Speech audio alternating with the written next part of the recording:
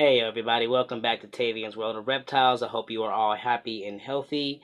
Uh, so, uh, today I just kind of wanted to touch on a less than positive part of keeping reptiles or any animal in general actually you know we get these animals and we're responsible for them in every way um, even making sure that they get medical attention when they need it um, and I bring this up because uh, Artemis here, uh, no space to back up, but Artemis here is uh, going to the vet on Thursday because she has got a uh, lump on her eye and I don't know where it came from.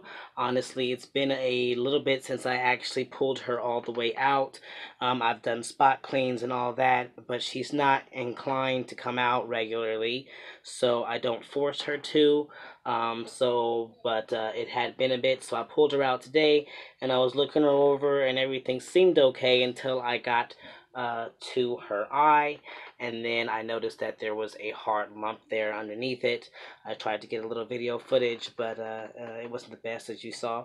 And anyway, so I immediately called and got her a uh, appointment scheduled um, for Thursday was the earliest that I could actually get it done uh, because at this current time I would need to wait for my next paycheck um, and that's going to be on the 31st, which actually uh, they didn't even have an appointment until that day. Um, but so uh, it worked out perfectly anyway that uh, that was the appointment that was available. So I would have my paycheck and be able to pay for whatever is necessary.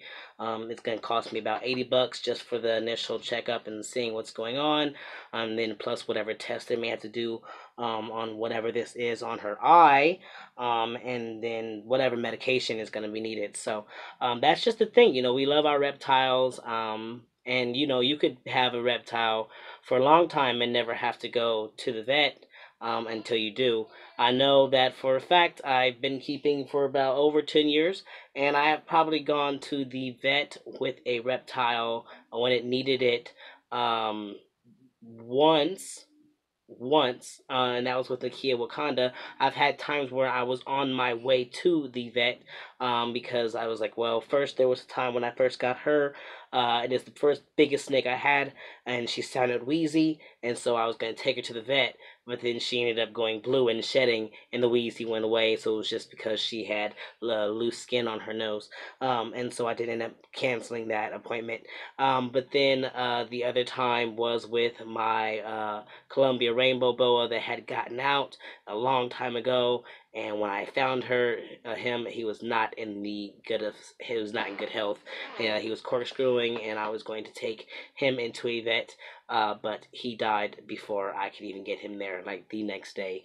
Um, and so uh, that was an unfortunate situation. But when it happens, you know, you have to be willing to do what you need to do to get your animals to a vet. You can't just brush it off and say it's no big deal that they take care of themselves in the wild. They often die in the wild because things that need medical attention aren't getting it because well they're in the wild so when they are our pets and they're in our care we've got to do what we got to do uh, to make sure that they are healthy at all times and when they are not we need to get them medical attention so that they can keep being healthy. Now she's not shown any signs of being like in distress but i'm just not okay with the fact that there is now a very noticeable lump underneath her eye uh, it is hard i don't know what it's from and before it potentially turns into something worse i want to get professionals taking a look at it and making sure uh, that it's not something super serious and if it is, getting that addressed as soon as possible.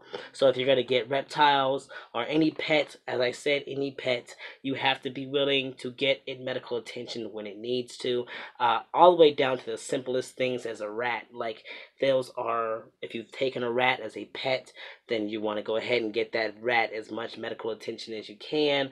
And yeah, we know that rodents have a lot of you know, a lot of medical things that happen with them over time. Uh, but still, like it, it's a commitment. We take them as pets.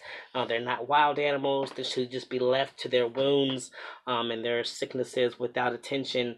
Uh, they are. They are pets, and uh, we are responsible for getting them the medical attention that they need. So I don't want to keep going on about it, but I did just notice it. So it is something that I'm currently a little stressed about. Um, but uh, I'm hoping that uh, Thursday will give me some answers as to what that's about and make sure that we get uh, her back to being as healthy as we can get her being. So, anyway, that's it, everybody. This is TWR. I am out. You guys take care of yourselves. Love your reptile. Love your loved ones. And you guys keep spreading those herbs.